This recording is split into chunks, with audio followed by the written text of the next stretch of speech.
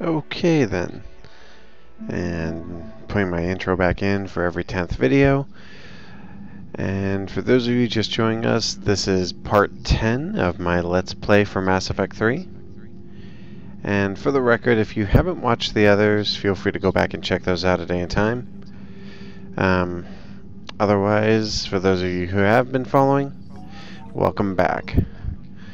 And I believe last time we had left off with uh, with me doing some exploring again and going through the Normandy, and now I'm loading back up to continue where I left off. Don't forget, I am sorry, I forget where this left off. But if I remember correctly, I think I picked up somewhere on the Normandy and then like went on to another mission. And we're to go ahead and see here. Ah, here we are. Yep, right where I left off. Wandering around the engineering deck. Okay. And I believe this is where I have a conversation with the shuttle pilot. As well as check out all the different consoles and stuff. Requisitions, yes! As you get weapons in this game, you can come here and update the weapons you've got, making them stronger, lighter, and giving them better ammo capacity. Now, as you upgrade them, it gets expensive. Very expensive.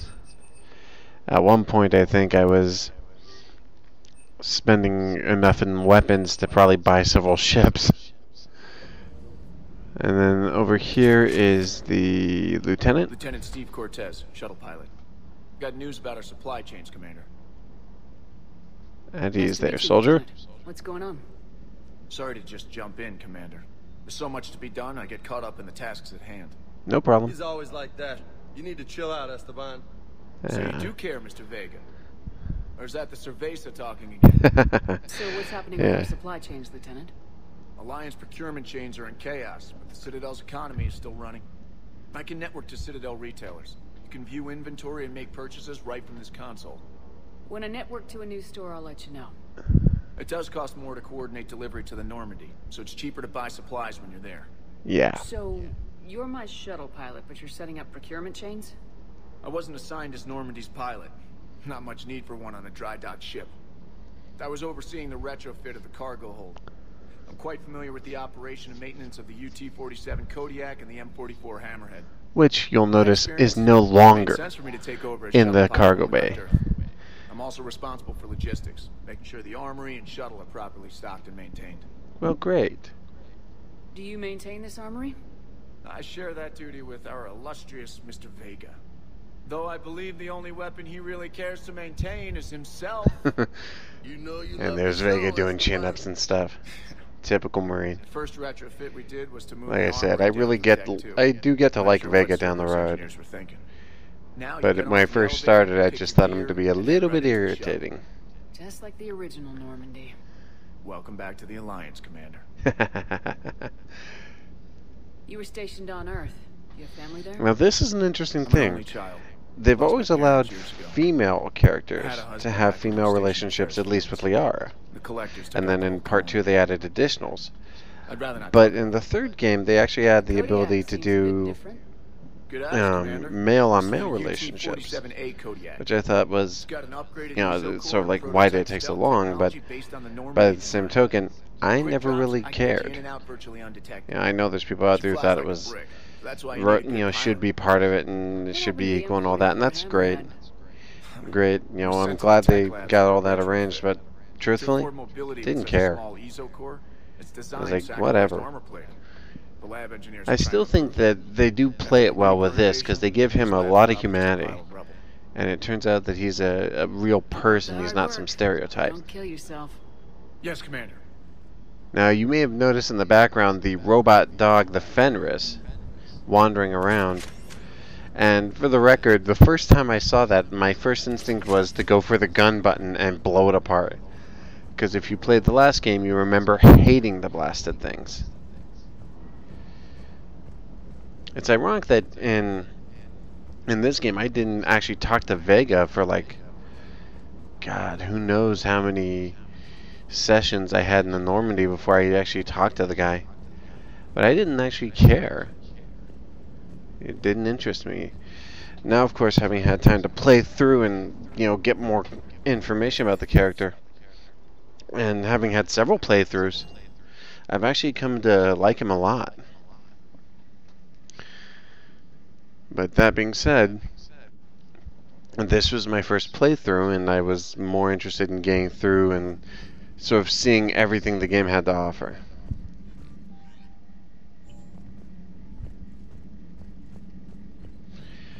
Now, the CIC and everything is pretty much exactly as it was in the last game, so that's no big deal. But I'm sort of disappointed that they took out all the extra dialogue for Joker. A real live Prothean. A real life Prothean, yes. I'm glad everybody's enjoying the new crew member. Could we get back to frickin' work? But I heard they were doing the Kinect stuff for the game. I thought that'd be cool if you could actually go out and shout like beratements at people. It's like walk up to Joker, Joker, fly the ship. Stop gabbing. Truth is, I think his dialogue is hilarious. But that's just, you know, me wanting to be silly. Eden Prime. And yes, we are leaving. Now, I believe that this is where I do some of the plant scanning stuff. And I am going to have it here, but in future incidents, I'll probably wind up cutting it out of the bulk of the series. Simply because uh, later on the game, there is so much of it. But I want you guys to at least see how it works. I don't recall if I did it here or not. I found something. And I'll notice the moment I use that scanning system, the enemies were alerted to my presence and the bar like shot up big time. And here's the trick. I've turned down the volume on this so you don't get blasted by it.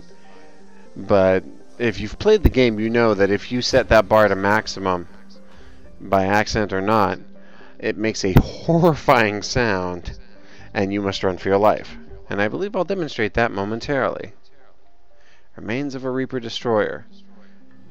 So somebody took one of those freaking things down. Coolness. Now, I don't know why I went back to the planet twice. I probably was just bored or looking for more info.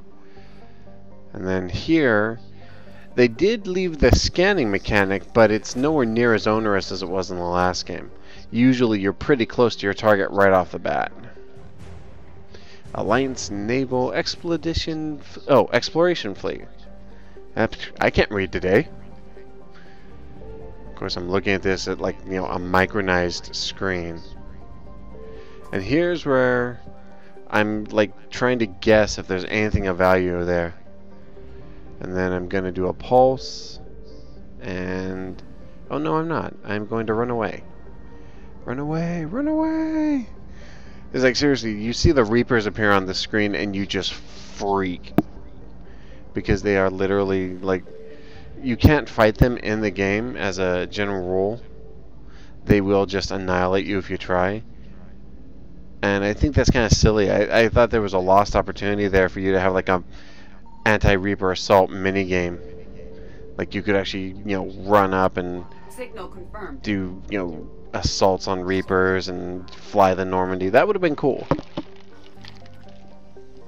Pardon me while I'm getting a drink.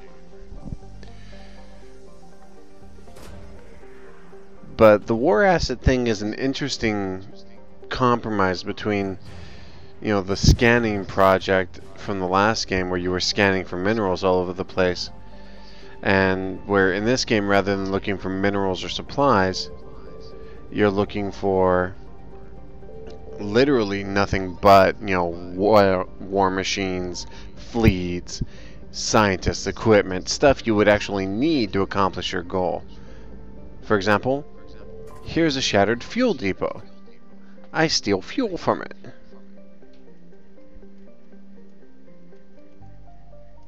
And that's actually something that I think they had meant to implement that so that you actually had to do a more thorough job of navigating that junk where you'd have to try and find fuel on the go. But then it really becomes onerous and almost irritating because there are no indications where one of those things is. So it's all like super total guesswork. I found something. And then scanning here. Like I said, you're normally like right on top of the target almost. What did I get this time? Javelin missile launcher. And there is a uh, there is a cool thing where these items that you're acquiring now do eventually show up as part of you know later missions and the the big fleet actions and junk. Now, here's an interesting thing. One of the ways they kept you from just scanning, leaving, and coming back was that once you've scanned an area to red line, Signal confirmed. you can't actually go back into it until you've finished a mission. The moment you do, the Reapers assault you, and you have to run away again. So it does wind up being, you know, one of those things where you have to be careful to find as much as you can, because every time you have to run a mission, you're one step closer to finishing the game, even if it is a side mission. It's one more thing out of the way that you can not do again to get rid of that red line. Now here we're going to Sanctum, which is some sort of Cerberus lab or some junk like that. I forget the specifics behind it, but I believe you're just going there to shut the lab down and steal some stuff. Now, Javik is not yet available because he's still recovering after waking up after a 50,000 year, you know, hibernation. So it's me, Liara, and James as usual. I do like that they give James like the biggest, heaviest weapon, even though you can't actually get that weapon at this point. But you'll notice now that depending upon the weapon you equip, like if you take the particle rifle, it, it overloads you quite heavily. But if I take the Vindicator, which I've since upgraded, uh, upgraded, sorry, it's now, you know, much lighter than it was previously because I upgraded the weapon. Same with the N7 Eagle, and you can actually equip James with whatever weapons you like. And I usually try to give him just the heaviest death dealers. And I've got some mods I can give it. I don't have any mods for the heavier weapons yet. Now I don't know that equipping mods for weight on these characters really has that big of an impact. But it's supposed to have the same effect on them that does on you. So I think I'm going to, yeah, go for Biotic Mastery or something. Mm, first I auto, oh, I guess I didn't. I guess I waited until I got more points. And this is the thing that, you know, I didn't like about this game. In the previous game, all the content for the game was staggered very well. The content for the first portion of the game was all on the first disc. And then the second portion of the game was on the second disc, and then they had a little bit of the end game on the first disc again. In this game, what they did was all main level activities are on the first disc. So every major mission, every major event, all that stuff is all on the first disc. But then on the other side, every side mission is on the secondary disc.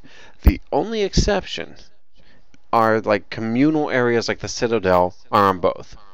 As far as I could tell anyway. Although there are a few missions on the Citadel that wind up being only on certain discs.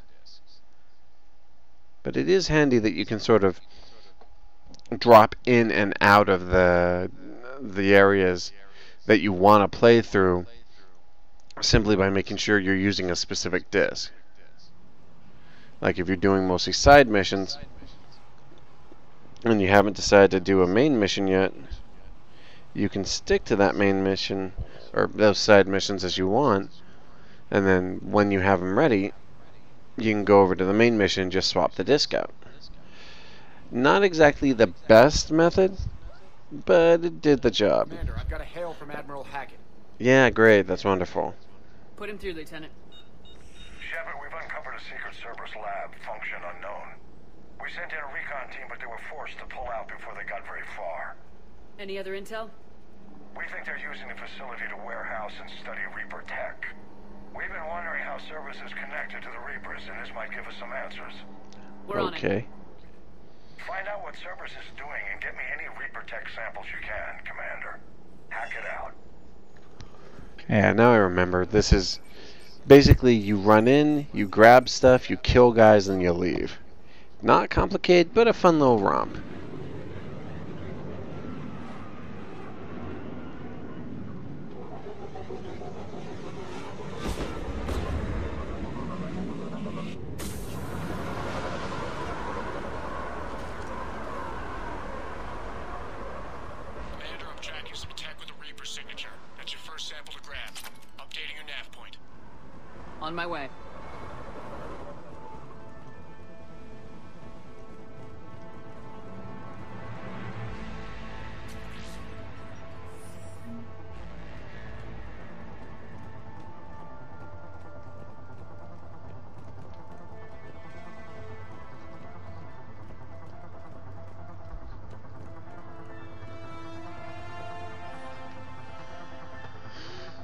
Now, this area is more or less just a, a series of tight corridors and rooms. Pardon me. It's very early in the morning when I'm recording this. Aha, uh-huh. snagging stuff and stealing stuff. Will Well. only lead to medi-gel advances for Hanar. Only Cerberus would call that a failure. Yep, and that's why we don't like them no more. Hello, I'm being shot at. Now you're flying through the air and whacking against the wall. And there's James with that massive particle beam. That becomes one of my favorite weapons, but I never wielded it. Because in the in the long run of playing the character, it wasn't worth it for my particular biotic. I mean, what was the point of having that heavy weapon when I was mostly using biotic abilities anyway? Later on in the game, as you get, you know, more characters, I always give them that particle rifle. Although now we know where they got the particle weaponry for the collectors. Oh, and he whacked against the wall.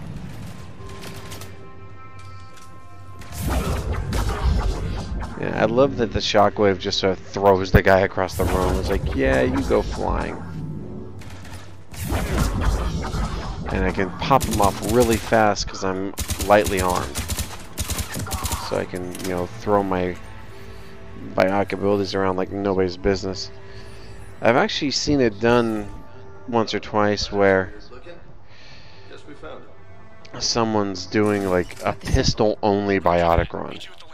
And they like throw a biotic attack every 20 seconds. Which is pretty cool. I, I don't argue that. Uh, If you can make it work, it's a great idea, but it makes some of the fights hard because, especially some of the boss fights, you just can't whack enough damage into them. Good work. And you're relying too much on your backup.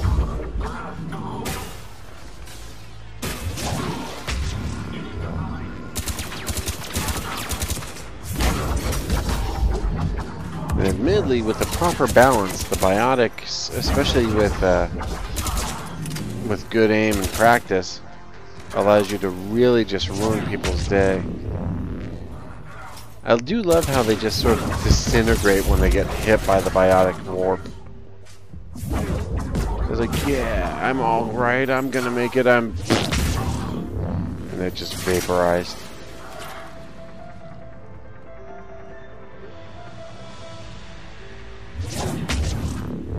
And the warp does damage over time, and at maximum power, it can really hurt. Especially when you're like fighting multiple enemies, you'll hit one dude with warp and then focus on another. And when you turn around, the dude with warp's almost dead anyway. I think I steal like two devices here. he walked right into a biotic blast. I bet that hurts. I rarely use Singularity, actually. It's sort of a weird thing about me. I don't use Singularity as much as I should, probably because I'm too busy whacking people with the Shockwave and the Warp. I do like having certain abilities as backups, like uh, Slam or, you know, if I were playing a defensive character, I'd be using uh, Barrier. And Barrier was always one of my favorites. Grenades!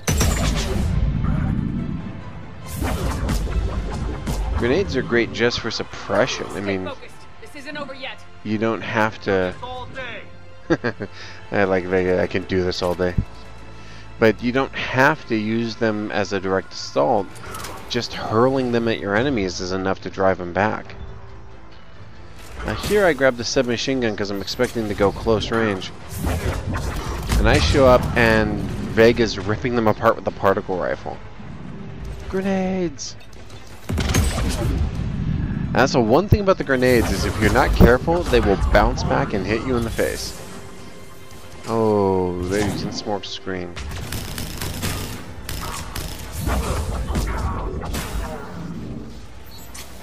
And the particle rifle is interesting because it's one of those weapons where it doesn't actually require ammo.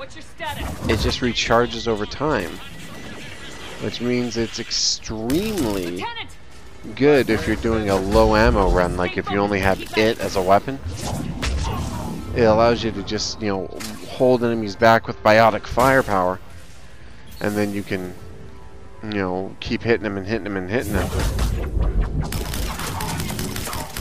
And even with shielded enemies like those guys, they're still vulnerable to the attack, they're just not killed by it instantly. Oh, looks like somebody's on the ground. Oh, Liara. Yeah, it's just, I find that funny that of all the characters you have, she's like the first to go down every time. Sky high achievement. Bullet, bullet, bullet in the face. And he's dead. I love that. Biotic punch! You Can't do Captain Falcon though. It's just too hard on my larynx. I feel sorry for the voice actor for that guy. Because he has to scream that at the top of his lungs. I remember, I don't remember the exact game, but there was a, a game where one of the characters was played by a voice actor who was notorious for doing really high power, loud screaming to the point where in one of his previous jobs, he had broken multiple microphones. And actually, it was a running joke on the forum was that, you know, did he break a microphone this time? But I do love that, you know, move where it's just, you know, biotic punch! And you deck the guy and he goes flying. Like I said, when you play as a soldier or like an engineer or a sentinel or any, well, I think the Sentinel's the one with the dual blades, but they use the Omni knife, which is, you know, a blade that comes out of the light-based weaponry they use. But, uh, with the biotics, it's just, mm, I guess, more natural for them to biotically deck you in the face. And I don't know what other thing I was building up to, but I'm I think I got like 40% of the achievements in like the first hour and a half I played this or something. Okay, maybe that's exaggerating, but, but I got a ton of achievements by the end of the first time I played this. It's time to leave. Like now. Or like yesterday.